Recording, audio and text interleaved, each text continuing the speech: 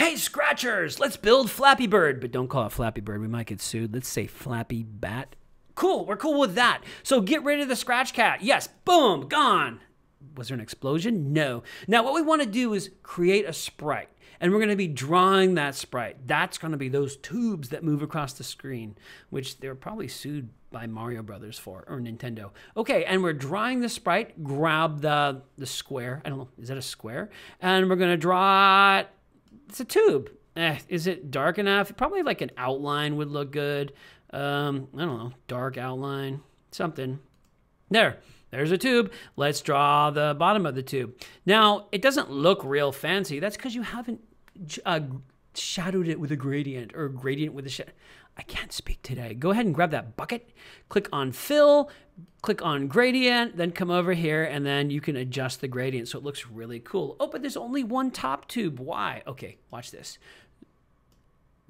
Copy copy and paste. Yes, paste it, and now you have two of them. Two of them that are exactly the same. Just flip it upside down. I know I'm doing a lot of stuff really quickly, but I'm sure it's not that hard. There's no room for that bird to get between there, or bat, or whatever it is. So just go ahead and control how tall it is by changing that. Now, it's pretty cool when you make multiple costumes, so it's kind of one is hard, one is easy, whatever. Just right click on it, duplicate it, duplicate it, and each one of these, go ahead and just adjust it a little bit more. Like this one's gonna be all the way at the top. There you go.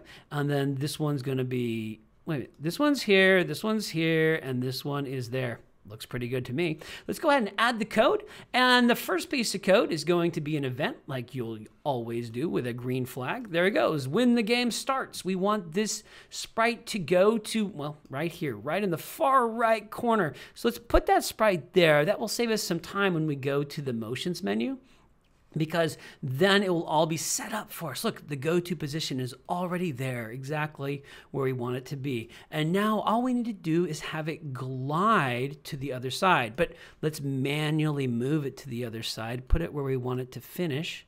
We want it to finish right there. So now this glide is already set up with the correct numbers. Push the green flag. Oh, it's impossibly fast. So let's slow it down to what, three seconds? That looks good. Ah, looks like Flappy Bird. Now, each time it goes past, we want it to switch costumes. So go ahead and go looks, and then do next costume, and then wrap it all up with a bow and a forever loop because we want this pattern to repeat. Here it goes. And let's see if the, oh, it got harder. That, that one's a little awkward looking.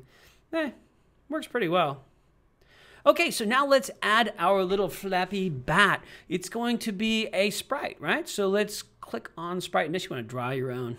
Uh, I'm not very good at drawing bats. There's a bat. Woof. Let's just search for bats and let's see what our options are. There's a that's that's a batter. Okay, so here's the flappy bat, and he's probably the wrong size. So come on down into size, and let's go for let's go for 600%. That's not going to work. Uh, still a little bit big. Let's go with 50%. Now we need to add the flapping motion of the bat. And first of all, we need to talk about what exactly will the bat be doing. He will be falling, and then you'll press the spacebar and he will flap. Flapping and falling, just like a real bat does. So let's go ahead and We'll start with a start flag and say, okay, where does he start? Let's have him start right here. That way he'll have a chance to fall. Okay, so we'll use the go to. And then we will go in the control menu and give we'll add some gravity to the game. We'll say forever fall. Now the the Y position controls the up and down axis. So if we say the y is decreasing, he'll go down, and the y increases, he'll go up. And I'll show you that right now. Inside the motion, look for change y. Here it is. So if we change y forever up, he goes up. If we change it forever negative 10, he goes down. Let's see how fast that fall is. That's a pretty fast fall. I think for Flappy Bat, my game, it's going to be a negative five fall. That's pretty good. Boy, those tubes are really moving. Now, to kind of counteract that gravity that's pulling him down, I need him to flap, and flap high he will. So let's go ahead and add an event. And let's say when the space bar is pressed, that he will move up.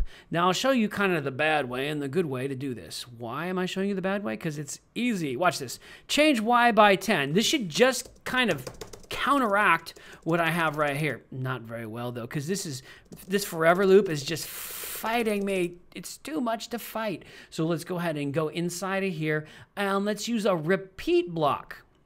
I love repeat blocks for jumping because it's going to repeat 10 times, change by 10. Repeat blocks create a really smooth movement because instead of just doing the whole movement at once, it's kind of repeat 10, repeat 10, repeat 10. Okay, here we go. Let's see what it looks like now. Oh, that looks a lot better we just it doesn't have the flappy motion we need the flappy motion so let's go look in the the looks menu for the costumes and let's talk about what costumes well what costumes do you have bat you have you have a couple different ones oh i like that so i want it i want him when i press the space bar to him to do bat a and then bat b that's pretty cool i like that okay so press the space bar switch costume to Bat A, and then after he, um, let's see if this works, to Bat B. Let's check that. Oh, it's reverse of what I wanted. Oh my goodness. So let's say I want Bat A, and then there it goes. Bat B. There. That's pretty nice. I don't know why he's flying sideways, but I love it. Now, if he touches the the pipes, which why are they there? I don't know. If he touches those pipes, we want it to be kind of a game over situation. So let's use a wait until block. Go in the control, and there is a wait until block. So we're going to say wait until touching those green blocks or pipes. I keep saying blocks, but they're pipes. So let's go into sensing and touching. Now, do I have to worry about what color? Let's just shrink the screen real quick. What color these pipes are? Yes, but actually they're a sprite. They're called Sprite 1. So I can actually sense those sprites. Here he goes. So wait until touching Sprite 1 and then end the game. Let's let's end the game the really super cheesy fast way because I'm trying to make this video fast. Let's just go into control and at the bottom just do stop all. That's so cheesy, I know. So when are we going to actually use this code? I don't like this type of code just sitting somewhere waiting to be discovered. I want it to be at the top where I can see it easy and I'm going to connect it to a starting flag. There it is. This game should work now. Let's play it. All right, everybody. Um, uh oh. Is he, um, we have a problem. This tube is touching the bat and therefore it is not starting the game. So let's go back to these tubes and make sure that they move to the start to the starting position. So let's move them all the way over here once again and go to motion and say go to this position when we start there. Now we can play this game. Ah, it's so hard. Who made this game? I'm gonna like rage quit right now. Yes! Yes! Yes!